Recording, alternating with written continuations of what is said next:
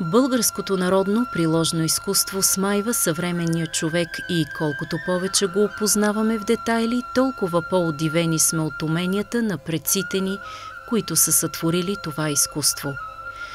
Българските народни носии са същински художествени композиции от тъкани, шевици и накити –